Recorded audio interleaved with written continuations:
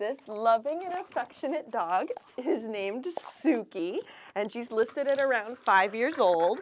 Uh, Sookie, as you can see, is a very loving and affectionate dog. She has a lot of enthusiasm and she has a hard time containing herself. She just wants uh, to live life to its fullest and uh, give you kisses and be around you and play and run and have zoomies. She's a very loving and affectionate dog, cute as a button, beautiful markings, uh, super soft fur um, loving, adoring, lots of energy. Um, and it seems like she might be house trained. She likes going on walks and she goes to the bathroom right away when she goes outside and keeps her kennel clean. I think that she could show a really different side to her personality once she's in a home and has a chance to relax without the noise and hustle and bustle all the time. So if you're looking for a big dog and a tiny package with lots of love um, and zest for life to give, uh, why don't you give Sookie a shot?